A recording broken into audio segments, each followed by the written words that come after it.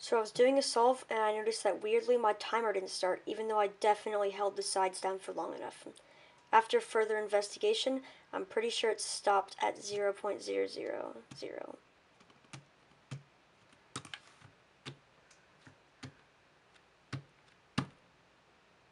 Let's restart it.